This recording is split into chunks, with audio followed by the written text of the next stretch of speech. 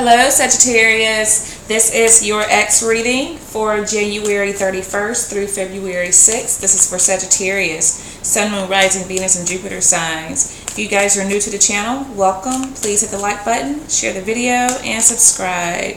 Let's see what's going on for Sagittarius currently. The Nine of Wands. A lot of you guys feel tired.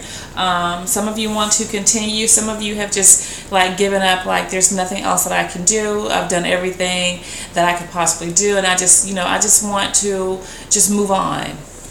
Some of you want to like still continue with, um, you know, putting in the effort here, just kind of taking a breather.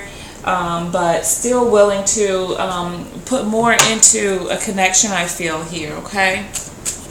Let's see what's currently going on with the person that um, you're thinking about, your ex. Okay, card jumped out there. The Magician. Hmm. This person is gaining their confidence. They're gaining their confidence back. If they were lacking confidence before, um, they're not anymore. They, they are like becoming quite sure of themselves here. Okay? Let's see what your perception of your ex is. Okay, let's see. That they've laid down the burden. I have two cards that flipped over here. Um, that they're not doing anything else. They're done with this. They're tired. Um, and that they are just, uh, they've taken their hands off of it. Like there's nothing else that they can do. Okay. Like they're finished with it. Hmm. Piscean energy there. Sagittarius as well. We have Gemini, Virgo here. Let's see what your ex's perception is of you. Queen of Cups. Um, I feel like this person thinks that you're really like you care for them, but you're not that serious right now. Like you haven't shown them that you know you really are willing to work on this thing that you're really willing to be there for them be more um, open and honest with them you know, loving to them even, okay? They feel like sometimes you guys are kind of fickle. That sometimes you love them, sometimes you don't. Sometimes you show them that you love them, sometimes you don't. You know, they feel like you're not really all the way in, is what I'm getting here, okay? So let's see how you feel about getting back together here. How does Sagittarius feel about getting back together? Sagittarius, how do they feel about getting back together? I think you definitely love this person. Um, they love you as well. And I think you guys kind of feel like you belong with this person. And um, I, I don't think you see anyone else like being with anyone else here. Okay? You feel like you guys are like, um, there's an undeniable pull to this person, connection with this person. Um, I, I really feel like you guys look at this person as your your life partner. Okay. Let's see what their feelings are about getting back together here. How does Sagittarius ex feel about getting back together? How do they feel about getting back together? Knight of Pentacles. They're, they're definitely thinking about it um, but they're really giving it like really careful consideration. They're not really trying to just jump back into something here. Um, I feel like I feel like maybe they have kind of pushed you away a little bit, but um, this person's definitely coming back. They definitely they definitely want to be with you. What I'm feeling.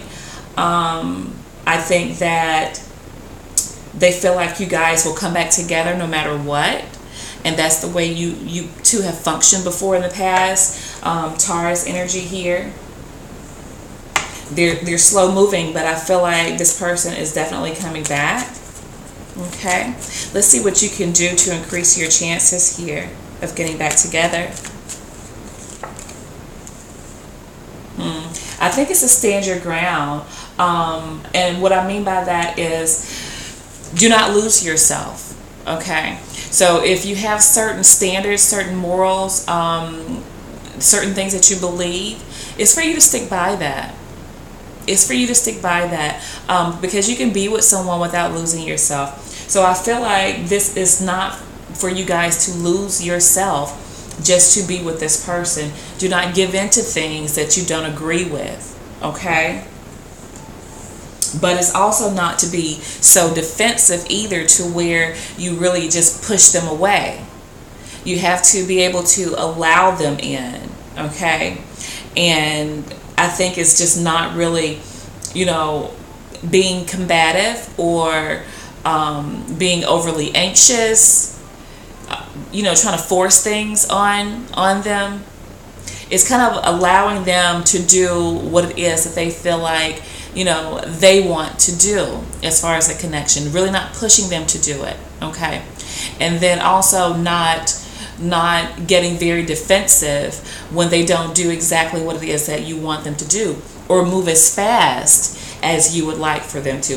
Because i feel like um, you think this person is is being way too slow and coming towards you. But I definitely see them um, coming towards you energetically for sure, and um, physically. I, I, I, see that, but they're not they're not coming in fast. They're probably not coming in as fast as you would like for them to.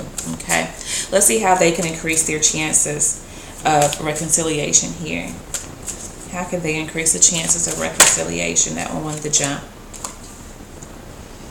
They need to decide that this is what they want to do, and they need to do it they need to be more proactive um, because they see, they know exactly what they want.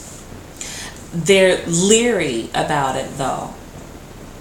But the thing is, with this Two of Wands, you know, in here in this card, you know, this person has a bird's eye view. They see everything that's going on. Okay, and they they are really trying to be 100% sure that things are going to work out the way that they want it to but when you take too long, you know that adage, that saying, you study long, you study wrong.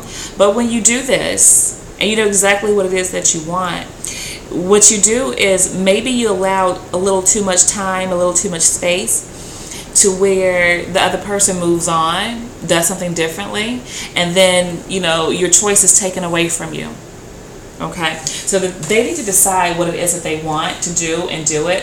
Um, stop being paranoid that things are not going to work out or be 100% the way that they would like for it to be because nothing is 100% in this life. Okay, so um, but they're they're paranoid about you know if they're going to get everything that they want how they want it, and that's why they're being so slow because they they're really trying to. Um, um they're really trying to figure out, you know, what your steps may be so they can figure out how their steps are going to be. You know, everything that they're doing, I feel like, is very kind of, um, um, what do you call it? They're like a turtle right now, honestly. They're very confident in the fact that you love them and that you'll be there is a thing. And, you know, here again with the Two of Wands, you know, do not take things for granted. Do not take things for granted here.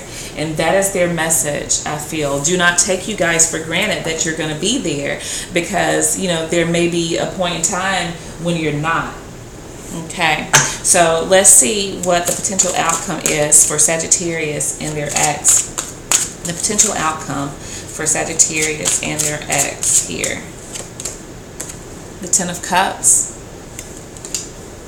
Beautiful. The ultimate fulfillment in a relationship, the ultimate happiness here, um, as long as you guys do the work. Okay, this person needs to not take you for granted. They need not wait too long to decide that um, you know they want to be with you and come towards you and you guys not be so defensive um, or like pushing them to do something that they're not comfortable doing. And then once they don't do it then you guys you know you block them energetically by you know getting upset getting irritated with them you know so as long as the work is done here i definitely see you guys um, being together here and being happy together. Maybe even starting a family, getting married here. If you're not already, if you guys are in separation, getting back together. Okay? So we have Piscean energy here Leo, Cancer, Taurus, um, Aries, We have Sagittarius, of course, like yourself, maybe another Sag that you're dealing with, um, Gemini and Virgo energy. Okay, guys? So that is what I have for you, and I will be speaking with you guys soon.